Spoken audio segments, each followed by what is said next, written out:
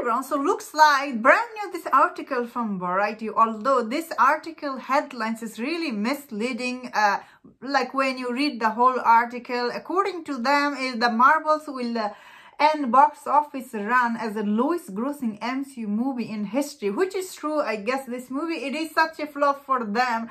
Uh, but when you read the whole thing, looks like uh, Disney...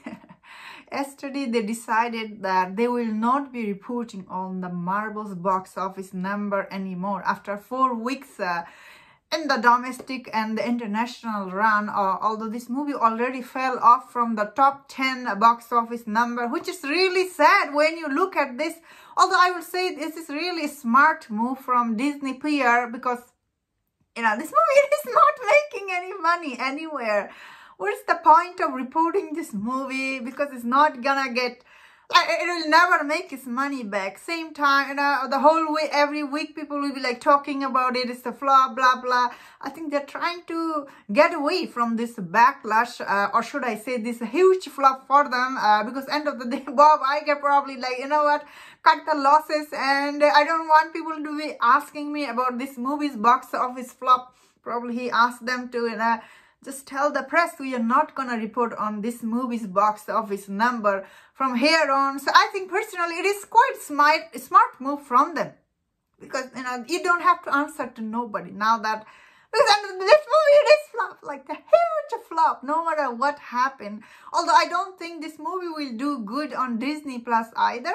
I think it will be like okay on Disney Plus because I did see some people are like, whoa, uh, I do want to see this movie, but I don't want to pay for it. So that is why I think it, it will do a little bit number on Disney Plus, but I don't think it will uh, as hit as Elemental or other Disney movie has done recently or even Guardian of the Galaxy. That being said, of course, I do think this is they're doing and uh, they're trying to, end of the day, they're trying to cut losses from this movie uh, overall this movie is such a poorly received from the audience, from the critic, although it's still sitting fresh on Rotten Tomato score.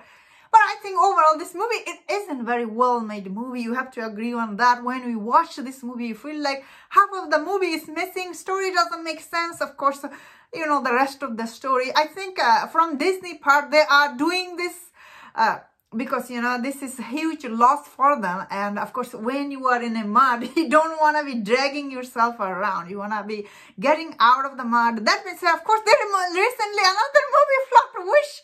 What they gonna do about that? Oh man. I, I feel sad. I really feel sad saying all this thing because end of the day we all want uh, Marvel Disney to, to make good movie. Uh, I'm personally excited to see. They are releasing only one movie next year and that is Deadpool 3 for that I'm excited although I hear that movie even has so many cameo uh, which is just makes me a little bit nervous because end of the day you don't want too much cameo in one movie but I'm still excited to see that because Ryan Reynolds is working on that. Uh, I don't think he will be doing anything will jeopardize that movie's failure. That means, of course, uh, sorry, that movie's success. That means, uh, yeah, I find it very interesting that the Variety, once again, they're writing this article and they're saying this, you know, uh, Disney is not going to be reporting on this, which I'm like, I personally like, oh, wow. So after four weeks on big screen, comic book tentpole is running out of stream. Yeah, we know that uh, 80 million dollar in North America, 190, oof, the number is so low,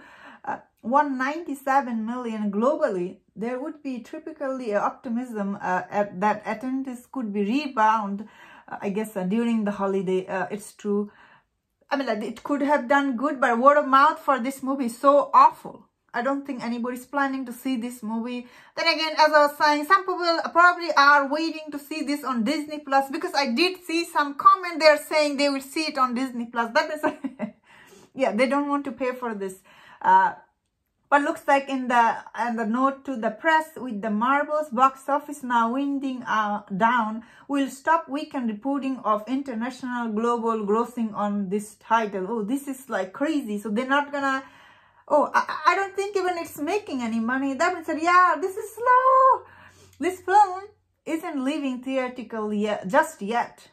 220 plus budget tentpole is expected to play through the New Year's. However, this memo signal that Marvels is not uh, expected to generate uh, notable yeah so this movie yeah they're not expecting this will do any good once again this is like really crazy how they are doing this. Then again you know what? Disney spear probably they're thinking at first you will get little backlash from the people like all the people online and here and there but eventually people will move on from this movie because this movie end of the day it is a, it's not a well-made movie. You know it's not something like it's worth talking about it or anything. Although all these hater channel they will like report this news other way around but i i am reading this news this way. Like that is what my translation for this news. Uh, I, I bet other people will be translating this different way but that is what i think. Let me know in the comment what do you think and that's my thought on this. Let me know in the comment